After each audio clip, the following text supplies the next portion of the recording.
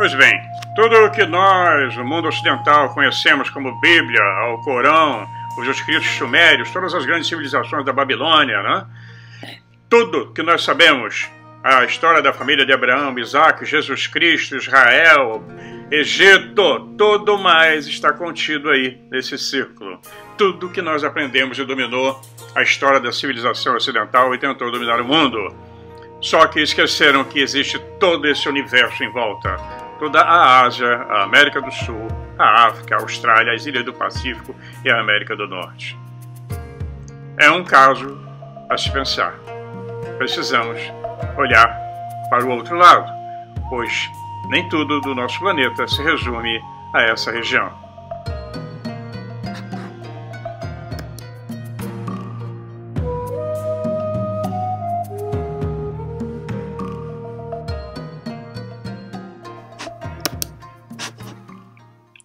Pois bem, a raça humana, no alvorecer do presente ciclo, ela passa por um lento processo de corrupção e declínio. Sem dúvidas, há muito tempo que o nosso planeta, o nosso mundo, está passando pelos tempos finais da sombria era da Kali Yuga. A Europa, depois da Segunda Guerra Mundial, com aproximadamente 80 milhões de mortos, renasce com suas severas regras de austeridade, estudo por cima de ruínas e da exaustão da guerra. Mas, acima de tudo, depois da derrota da Alemanha nazi, ela focou então suas esperanças de regeneração no, no, no início de uma nova era, na Satya Yuga.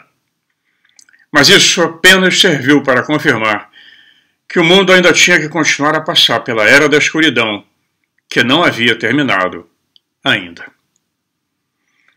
Pois é, pessoal, tudo bem com vocês? Estamos nela. Eu já fiz um vídeo sobre a Kali Yuga. Muita gente reclamou por causa da datação. Olha, são tantas datações, são tantos especialistas, cientistas acadêmicos, inclusive, religiosos católicos, fizeram pesquisa em cima dessas datações, que seria teoricamente depois da morte de Krishna na Índia, há milhares de anos atrás. Então, dependendo do estudioso, você vai ter várias interpretações. Graham Hancock, por exemplo, colocou a data de 2030 devido aos documentos egípcios que ele pesquisou. Outros dizem que é 2024 para 2025. Mas se nós olharmos em volta, vamos ver que a coisa está muito esquisita. Vamos continuar a bater um papo agora nesse vídeo sobre a Kali Yuga e alguma das suas manifestações e o que vem em seguida. Quero agradecer a todos vocês que apoiaram o canal.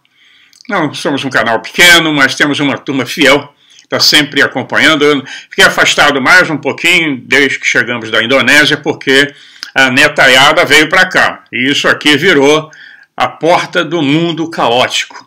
Eles fazem, pintam e bordam. Desde desenho na nossa parede aqui, vou ter que limpar tudo. Um brinquedo para todo lado. Então, antes dessa semana, o Neto o Netinho foi para. voltou para o Canadá, vai ficar uma temporada lá antes de ir para a Amazônia.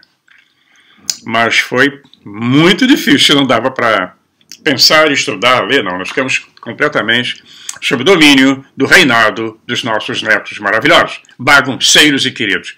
Então não deu para fazer os vídeos como eu queria. Mas vamos continuar. Eu sei que todos vocês estão aí acompanhando, estão sempre. Eu converso com alguém, às vezes no, no chat, alguém entra lá no Facebook perguntando o que é que houve. Né? Mas a Claudinha, de vez em quando entra lá, está tudo bem. É, falta de tempo mesmo. Produzir um vídeo leva tempo e tem que ter um pouco de paz. E agora sim, a casa está um silêncio incrível. Estamos sentindo falta do barulho. É uma brigaiada, sempre um correndo atrás do outro, pulando, quicando. É muito bom. Isso faz parte da vida. Família. A família é um dos alvos da caiuga dos homens do mal e querem destruir a base fundamental de qualquer civilização. Vamos continuar. Pois bem, a Kali Yuga.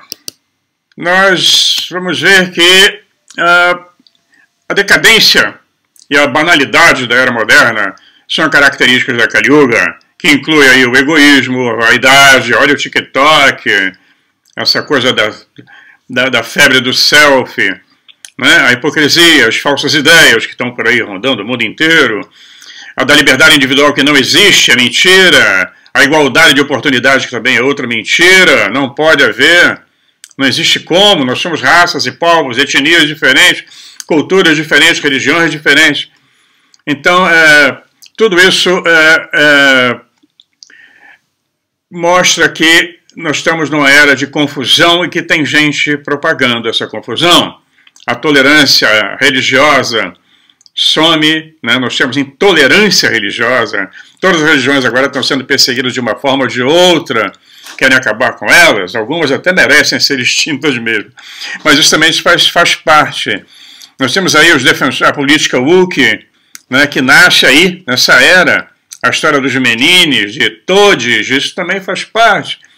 A destruição das artes, a arte contemporânea, essa coisa horrorosa, essas tiraram as esculturas lindas. Nós avançamos né, desde as esculturas gregas, greco-romanas, na década de 20, década de 50, agora obras de arte é um ferro retorcido que eles colocam numa praça, são bichos deformados, a deformação da beleza, a destruição da harmonia faz parte da Kali Yuga.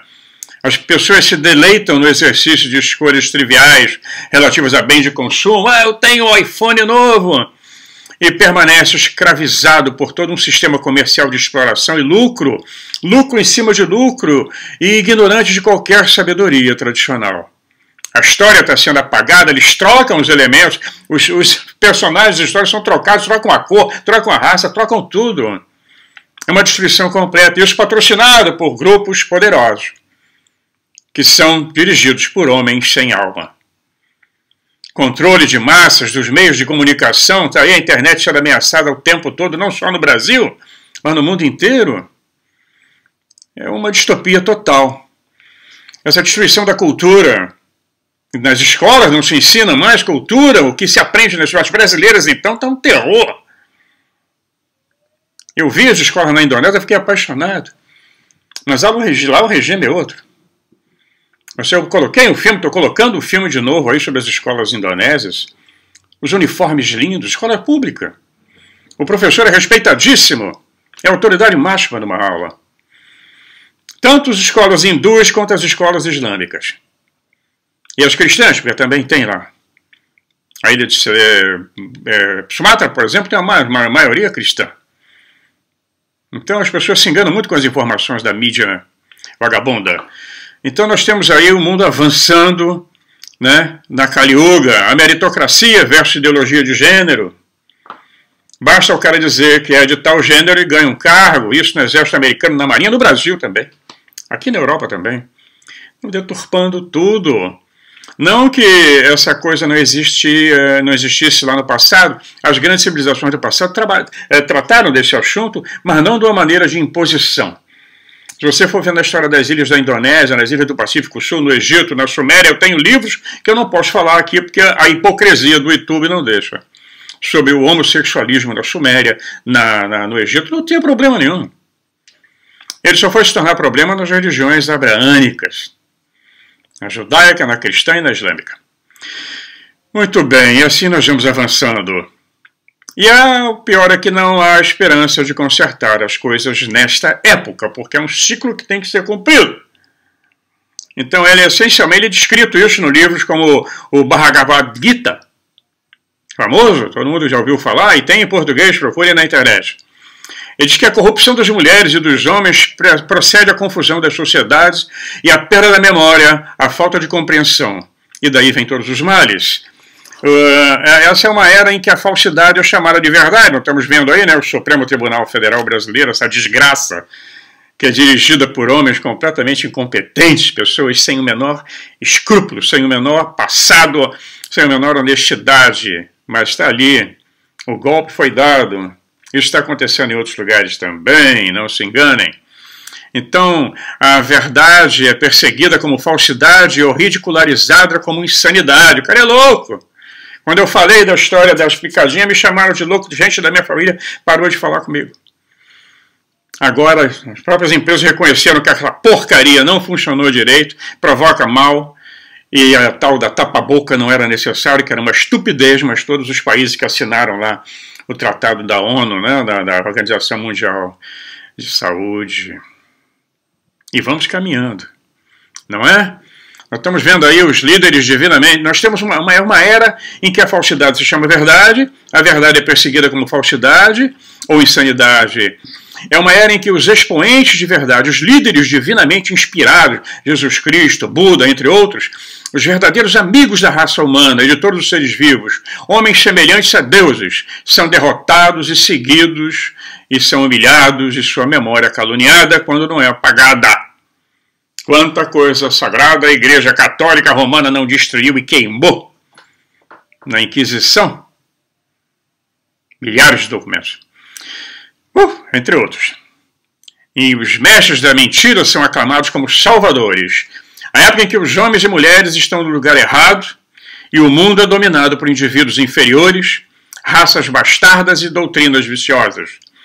Todos parte integrante de uma ordem de feiura inerente e muito pior do que a anarquia completa, a ordem da feiura. Alguém já viu as músicas que estão agora fazendo sucesso? A desgraça que é a música, quem viveu, quem tem minha idade e viveu a década de 70, 80, as músicas maravilhosas. Até hoje, aqueles jovens que não conheceram alguns cantores de rock que já são falecidos, cantam e tocam a música deles, de bandas antigas, as grandes big bands. Hoje é uma porcaria, o funk é o batidão, não é? As escolas, como é que estão? Já falei, né? As escolas. Então é a teoria cíclica do tempo, né? a teoria cíclica hindu, que é estudada por muita gente. Ela acredita que a história humana, longe de ser uma ascensão constante rumo ao melhor, é um processo cada vez mais desesperador de bastardização, emasculação e desmoralização da humanidade. É uma queda inexorável contra o sombrio pano de fundo cosmológico da Kali Yuga. Então tem uma teoria que fala sobre a doutrina dos homens, a doutrina dos homens do tempo, os homens acima do tempo e os homens contra o tempo. Esses três, três tipos de atores históricos representam três respostas bastante distintas da escravidão do tempo, tal como entendida no ciclo das eras. Essas eras elas têm que ser cumpridas, completadas para que se dê início a outra. Então vamos falar sobre esses tipos de homens. Homens do tempo, homens acima do tempo e os homens contra o tempo. É engraçado. Então vamos lá. Dos três tipos, uh, os homens do tempo são os agentes especiais mais ativos da Kali Yuga. A sua conduta e objetivos tipificam a era das trevas e todas as suas adversidades. Os homens acima do tempo sentem-se adequadamente na perfeição da Satyuga, ou Idade de Ouro, e os homens contra o tempo agem com violência implacável na tentativa de restaurar as condições da Satya Yuga no final da Kali Yuga. Vai ser preciso uma certa violência? Isso. Por meios violentos, esses heróis marciais trabalham para redimir o mundo da escravidão da Idade das Trevas e para iniciar um novo ciclo temporal. A guerra. Os homens no tempo são aqueles poucos indivíduos fortes que aceitam de todo o coração a lei férrea da história e agem inteiramente em seu próprio interesse estreito, seja na ânsia de prazer pessoal, na ganância por ouro ou na busca de honras, posição e poder. Esse impulso egoísta e desavergonhado é disfarçado por fins tão nobres como ideias da Revolução Francesa, etc., ou a solidariedade da comunidade internacional, para o discurso da, do proletário, eu amo os pobres, amo coisa nenhuma, né?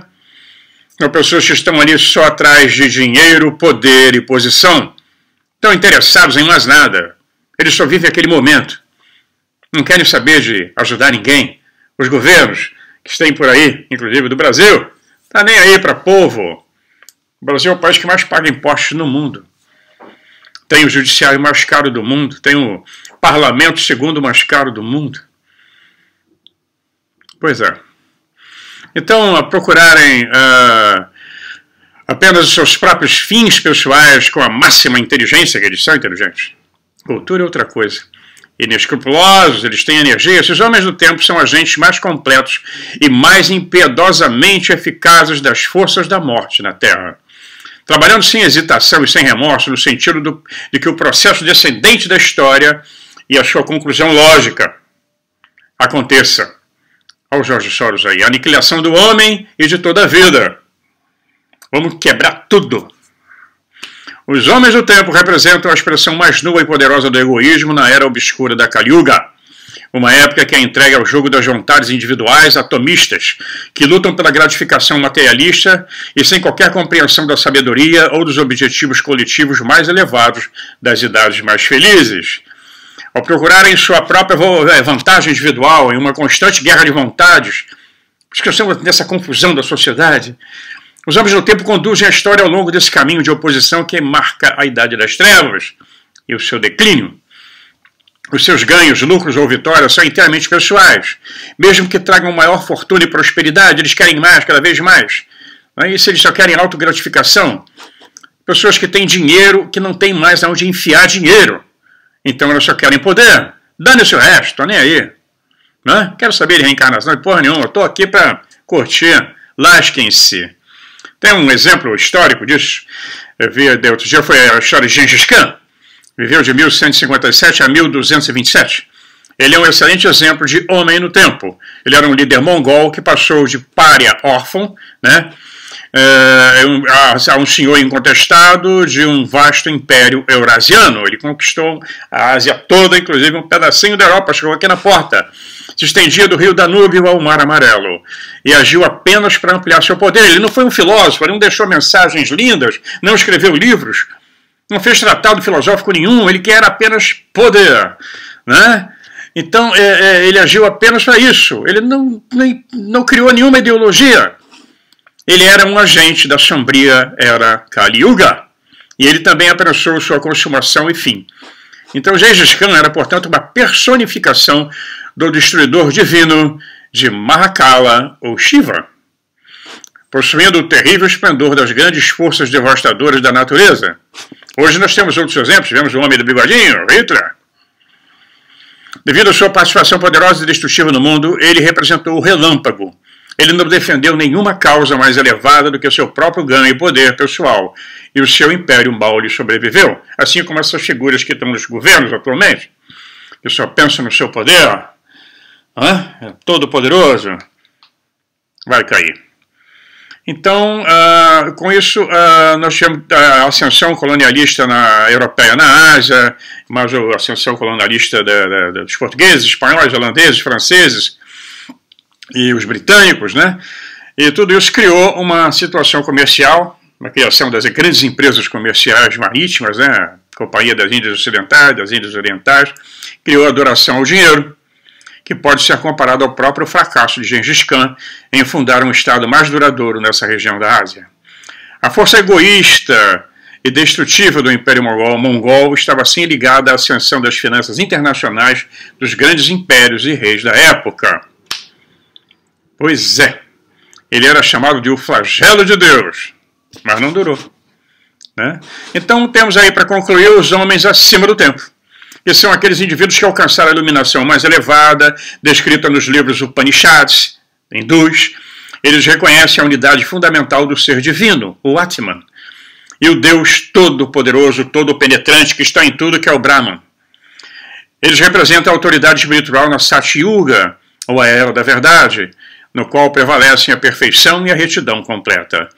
Na Índia Antiga, os Brahmanes eram conselheiros e mentores dos reis e guerreiros que estavam ansiosos por agir de acordo com os mandamentos da sabedoria atemporal. Contudo, à medida que o mundo avançava no ciclo do tempo com a crescente desordem e decadência, esses homens acima do tempo foram gozando cada vez menos de autoridade, e durante a Kali Yuga, eles aparecem apenas para serem místicos sobrenaturais, cuja perspectiva e conduta mal os equipam para sobreviver no mundo de luta e conflitos e muito menos para agir como guias e governantes de homens. Esses ascetas solitários se abstêm de toda violência, mas não podem mudar as condições coletivas da humanidade. E nós temos aí Jesus Cristo, Buda, entre outros, Shiva. Né? A única coisa que eles conseguem é a sua própria salvação individual. Ao quebrar a escravidão do tempo, das almas individuais, eles não têm poder de recriar a idade de ouro antes do devido tempo. Né? Temos também no Egito Akhenaton, descendência ariana, cuja tentativa malfadada de instituir um Estado da Era de Ouro no século XIV a.C. terminou previsivelmente em caos e fracasso. Akhenaton era um homem acima do tempo. Mas ele não contava que a violência e a lei de qualquer revolução dentro do tempo, especialmente na Idade das Trevas, a Kali Yuga. Então, nós vamos ver que os homens são influenciados por essas eras nem no seu interior.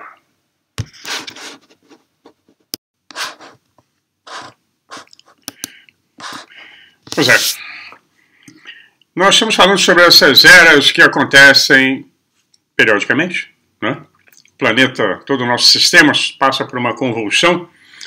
Tudo é destruído e há um recomeço. Sempre existem sobreviventes que vão recomeçar em cima dos escombros da civilização que se foi. São as eras que se sucedem. E assim é que nós passamos pela respiração de Brahma. Né?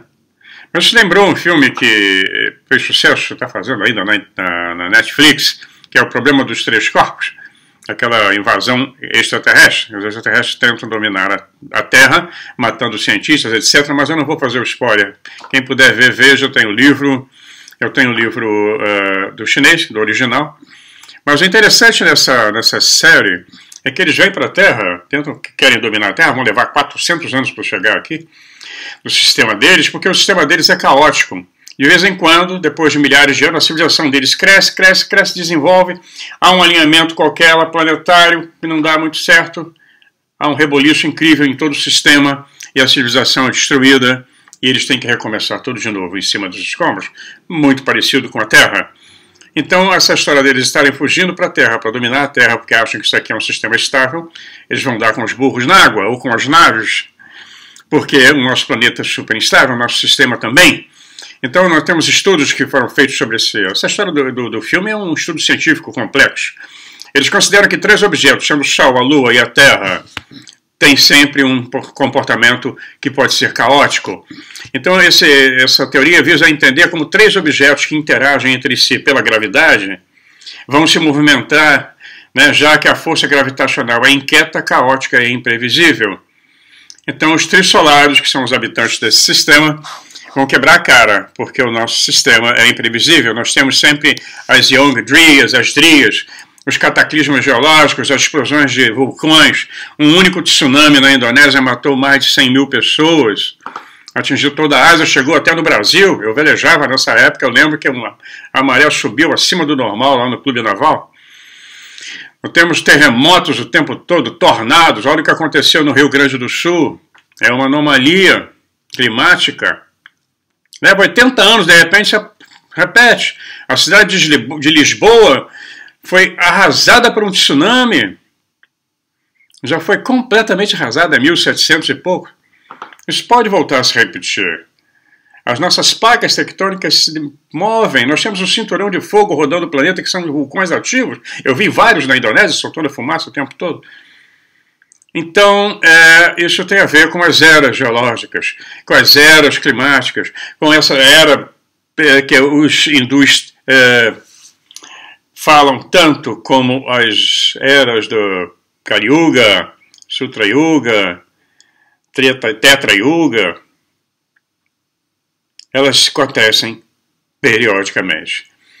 É, o assunto é super complexo. Para resumir em 30 minutos, 25 minutos de vídeo é complicado, mas fica é, para instigar vocês a investigarem. Tudo isso que eu falei vocês vão encontrar no Mahabharata, que vocês encontram em português, do Ramayana, se procurarem na internet, procurem, porque tem muita coisa já sumindo da internet. Você às vezes vai acessar, acessar um link, está, aparece lá erro 404, esse link está quebrado, você não encontra mais, isso já está sendo denunciado nos Estados Unidos. É, algumas empresas, algumas organizações já perceberam isso. Eu já tenho avisado várias vezes para vocês: imprimam o que puderem, comprem os livros que puderem, porque uma hora vai parar tudo. Então, a, a, a história dos trissolares é essa eles vão chegar aqui e quebrar a cara. O nosso planeta é instável. E daí nós vamos entender a obsessão dos povos antigos pela astronomia. Todos eles tinham obsessão pela astronomia. Construíam observatórios incríveis, super precisos, tinham calendários precisos, sabiam a apreciação dos equinócios, sabiam prever os eclipses. Por que essa preocupação toda? Nós vemos isso em Gobekli Tepe, nas pirâmides, nos templos indianos, nos templos chineses, né, em todo canto entre os maias. E será, será que eles tentavam nos avisar de alguma coisa? Para que nós nos preparássemos? Pois é, vamos continuar no próximo vídeo. Esse assunto, eu vou voltar a falar de outros assuntos, tem gente cobrando que eu nunca mais falei sobre as patentes secretas, não tão secretas, você pode saber onde elas estão, você só não pode usá-las. As patentes americanas, principalmente de aparelhos que é, anulam a gravidade, entre outras coisas, motores de dobra, tipo Star Trek, né? Pois é, vamos voltar lá falar sobre esse assunto. Então é isso aí, pessoal. Se cuidem, fiquem na paz. O Brasil está passando por turbulência, mas o mundo inteiro está passando por turbulências. Vamos ver o que vai acontecer. Se cuidem, fiquem na paz e até lá. Durante milhares de anos, o homem esteve habituado a ter os deuses à sua volta. Nós vamos ver nos vídeos, e temos visto nos nossos vídeos, de repente houve um abandono para o qual eles não estavam preparados. Os seus ancestrais, seus bisavós, tataravós, conheciam esses homens, conheciam esses deuses especiais, mas agora as histórias estavam muito confusas e ninguém parecia realmente saber a verdadeira história. Por que eles foram embora? Aqui é a gracinha da saída de uma escola pública na cidade de Ubud, em Bali. Vejam bem o respeito, o uniforme e o respeito da menina no final do vídeo com o seu professor. Pois é.